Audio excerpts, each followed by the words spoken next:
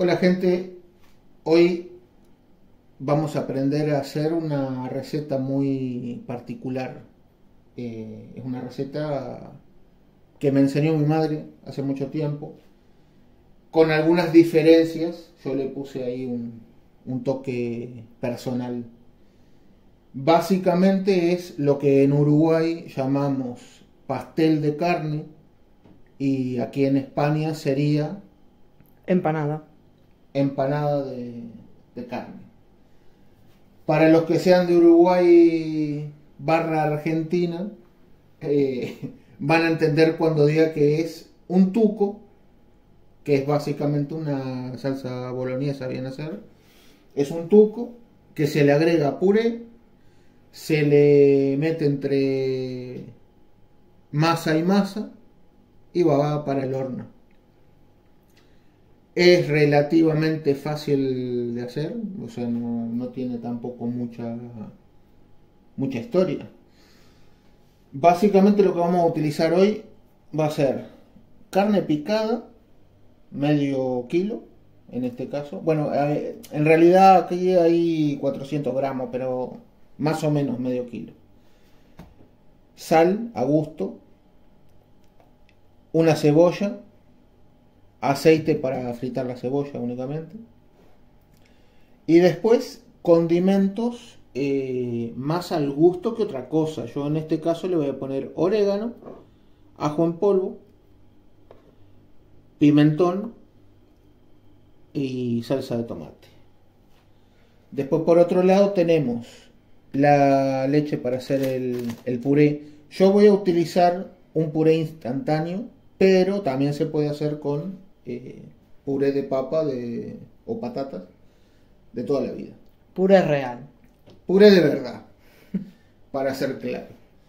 Eh, a mí este, yo qué sé, a mí me gusta, y más para estas cosas así. Lo como incluso solo, pero para hacer preparaciones como esta no, no tiene más.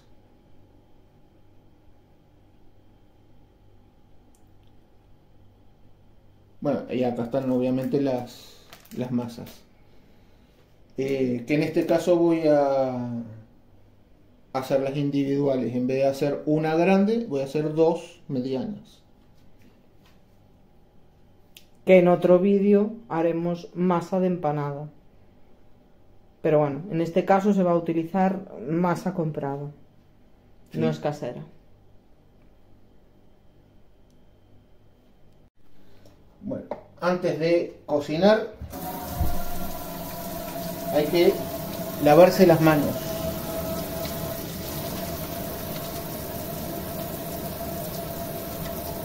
Bien limpitas.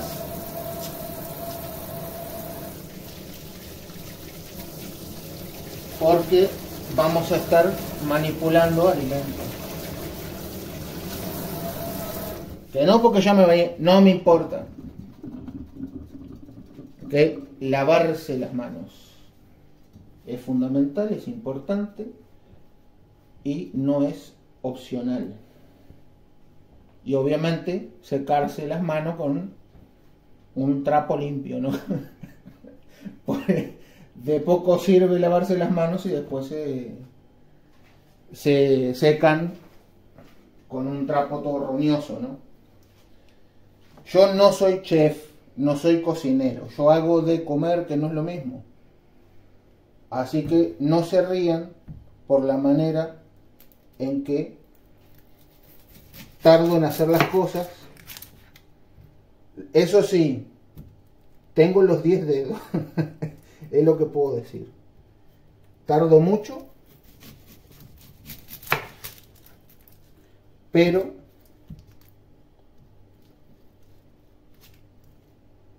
eh, no he perdido ningún dedo en el intento. De momento.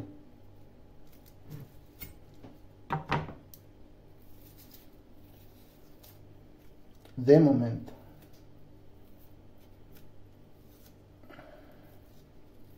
Y sé que soy medio particular para pelar la cebolla. De hecho ahí me quedó.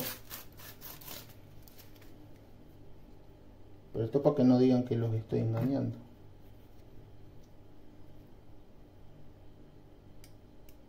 Me quedó acá un cachito feo que ya se lo voy a sacar. Esto de acá.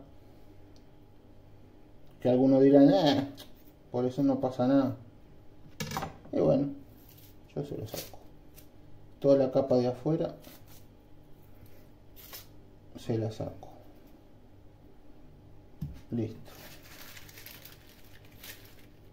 vamos a tirar esto. Ya vengo.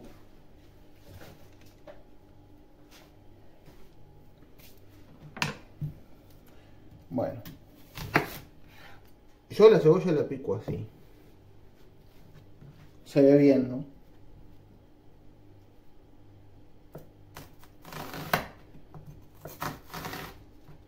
ni muy muy ni tan tan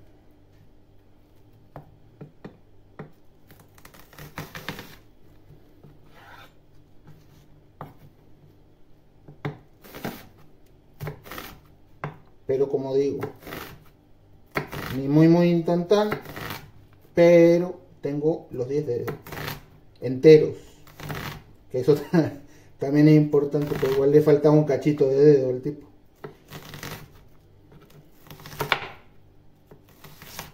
Así. Y ahora van a ver el truco pues yo no soy el único que no sabe picar cebolla o cebolla o lo que sea en general ahora van a ver.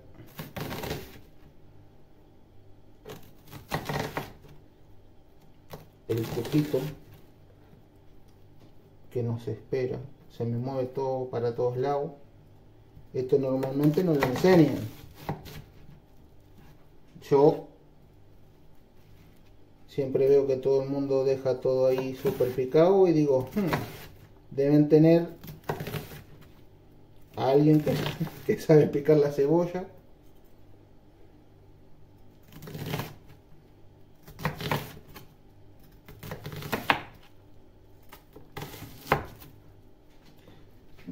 Esto es un desastre, ¿no? Es, así lo deja alguien que no sabe picar la cebolla bien picada. Entonces yo lo que hago es simplemente poner un balanceo así.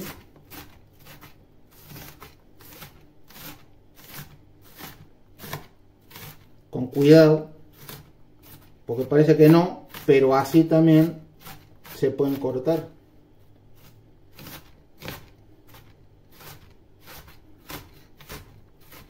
Es muy importante no limpiar el costado del cuchillo hasta que termina.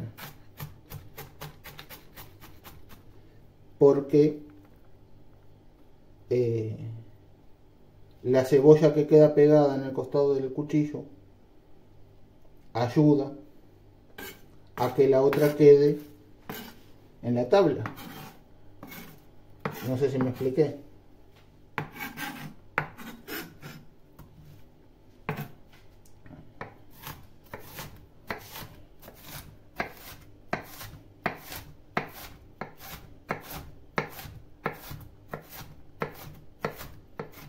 Normalmente no mostraría esto porque es una bobada, pero como hay mucha gente que no sabe picar la cebolla bien picadita, como yo por ejemplo, entonces por eso enseño este truco.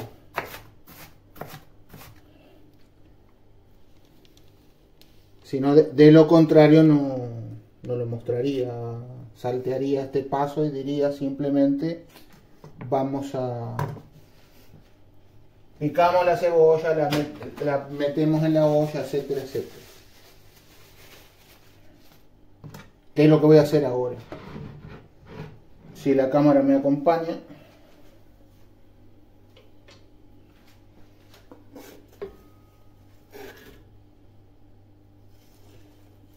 Toda la cebollita.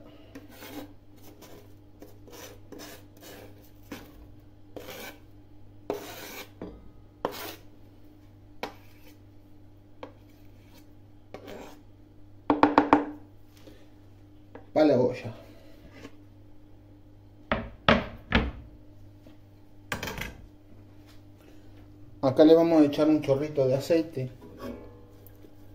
que más o menos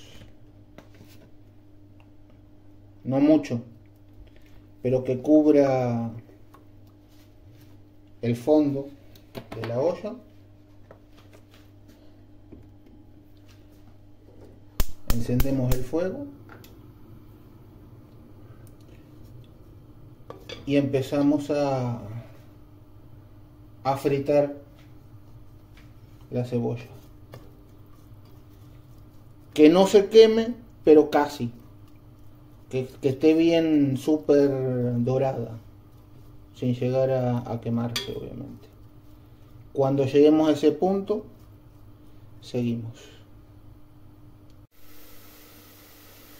Bueno, esto después de unos minutos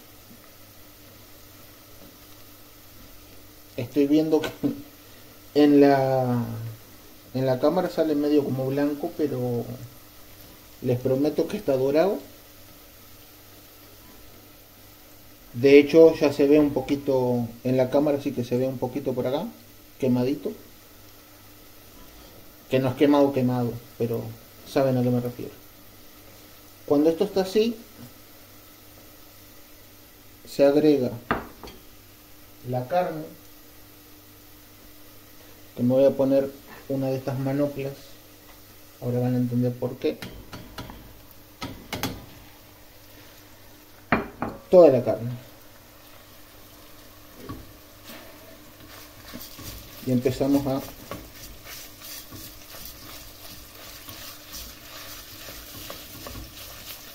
desmenuzarla, como quien dice,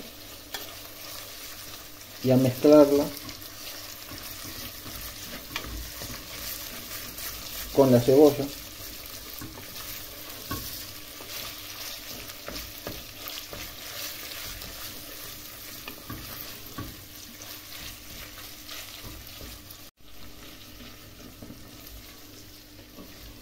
la carne empieza como a, secar, absorber la mezcla que hay entre el aceite y, eh,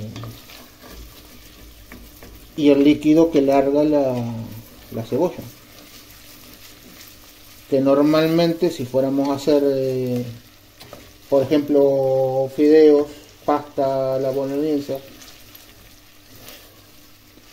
eh, o fideos con tuco, como se dice en Uruguay, habría que echarle un poco más de aceite para hacer esto durante más tiempo. Cuando está así, ya vamos agregando un litro de agua.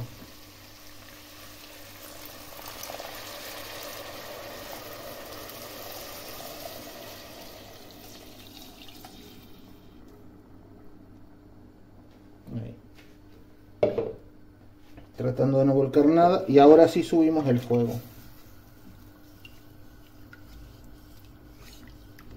esto tiene un color espantoso pero es normal porque es básicamente eh, agua con carne y cebolla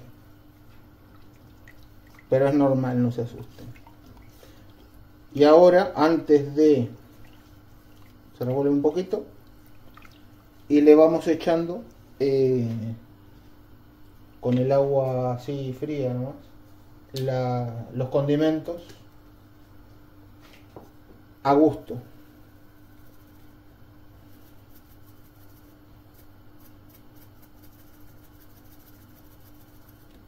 Un poco de cada.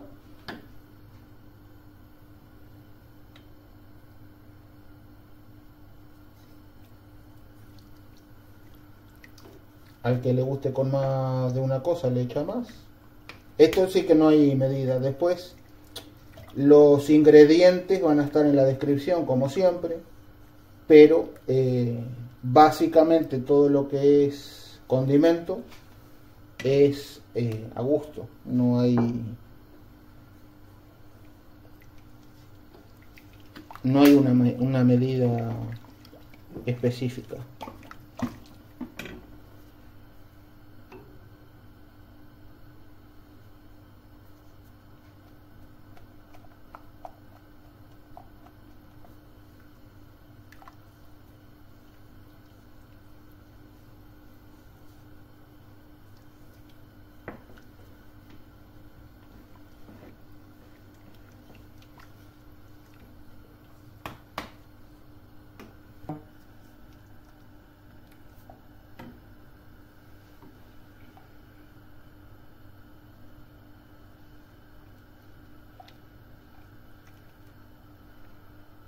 El pimentón no se lo echen de golpe porque puede formarse grumos y queda realmente feísimo el sabor.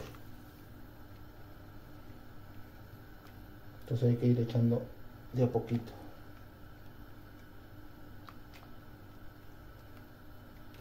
Esto también es a gusto. A nosotros siempre nos gusta con mucho pimentón. Le da color, le da sabor.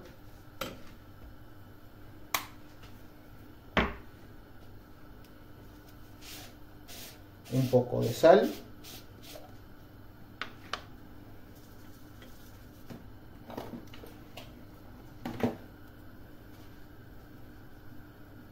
Yo creo que con tres pizcas de sal eh, generosas para un litro de agua está más que bien.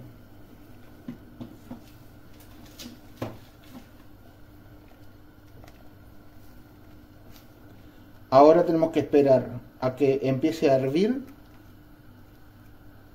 y cuando empiece a hervir, que no le falta mucho, le agregamos la salsa de tomate. No le falta prácticamente nada.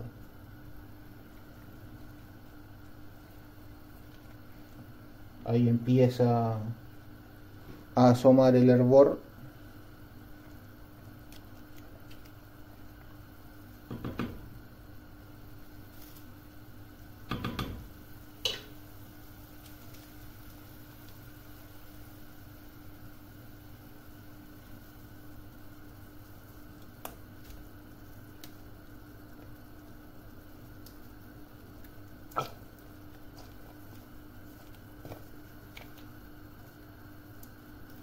espectaculoso.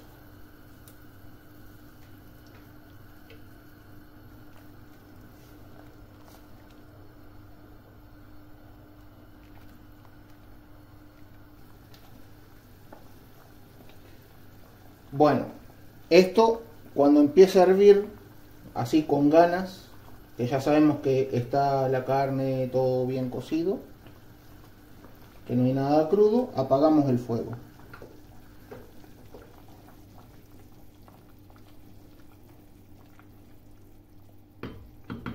Y ahora viene la parte interesante, la parte loca de esta receta. Vamos a ponernos las manoplas para no quemarnos. Y esto es básicamente lo mismo que cuando hacemos puré instantáneo, pero con esta boloñesa o tuco o lo que sea.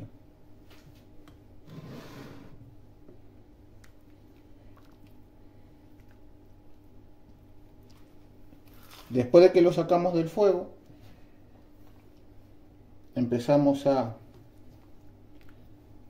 echar lentamente el puré instantáneo mientras eh, seguimos revolviendo, no dejamos de revolver.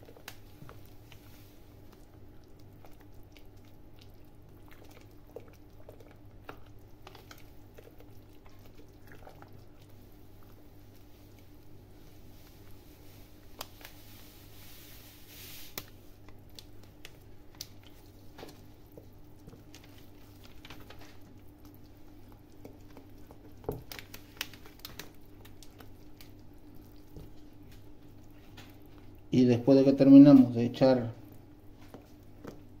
el puré instantáneo le agregamos 250 de leche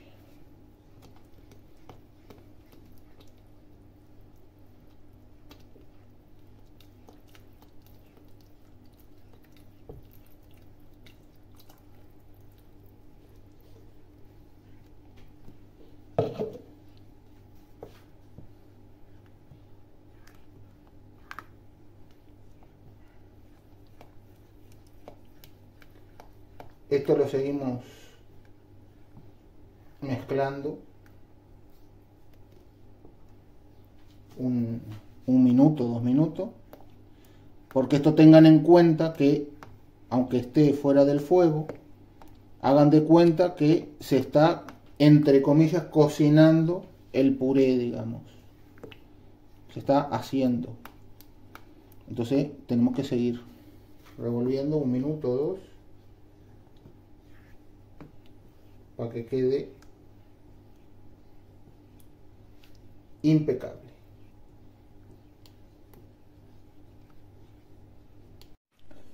Bueno gente, al haber terminado de hacer esto, lo único que hice fue dejarlo reposar durante una hora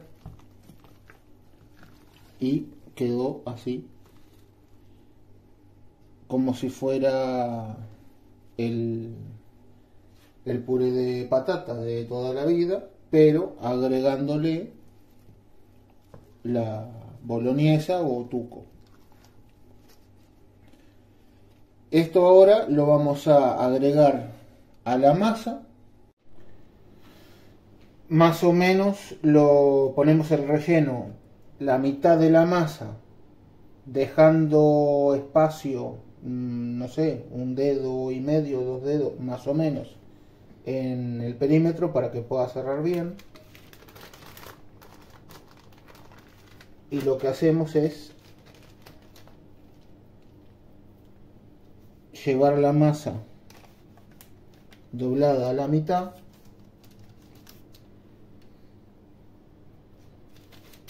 que creo que no lo dije antes pero también se puede hacer con masa de hojaldre pero yo lo prefiero así se dobla el perdón todo el, borde de, de este pastelito, empanado o como quieran llamarle.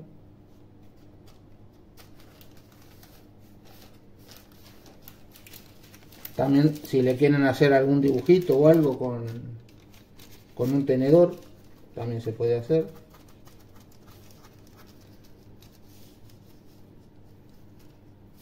Pero yo voy a lo fácil, que es doblar y aplastar. Más o menos. También en parte estas imperfecciones le dan ahí un toque mágico a la comida. ¿Qué les parece? ¿Delicioso? No, porque está crudo.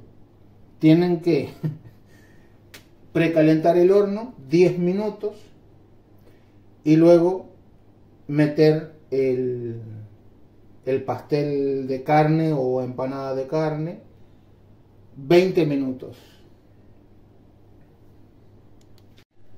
Bueno, obviamente hicimos un pequeño corte porque no vamos a mostrar dos veces lo mismo.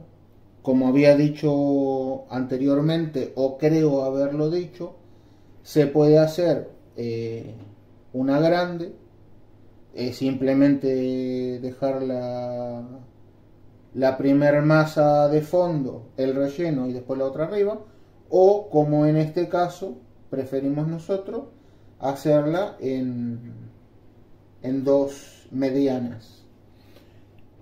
Importante para que no infle y explote, le pegamos unos cuatro unos cuatro, no, unos cuantos pinchazos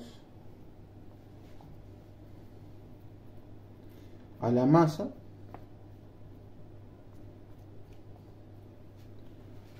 Y queda pronto para meter en el horno.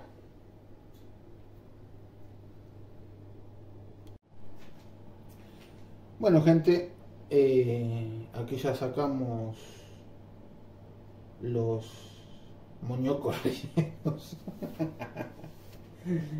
Al final lo dejamos 30 minutos eh, al horno y poco más que agregar. Uno de ellos el de este lado, no sé si se nota mucho, se rompió un poquito, pero ta, digo, son cosas que pasan. El otro quedó intacto. Lo que sí se ve medio blancuzco en la, en la filmación, por lo que estoy viendo, pero están ahí, eh, normal, digamos, color masa hecha, no masa cruda.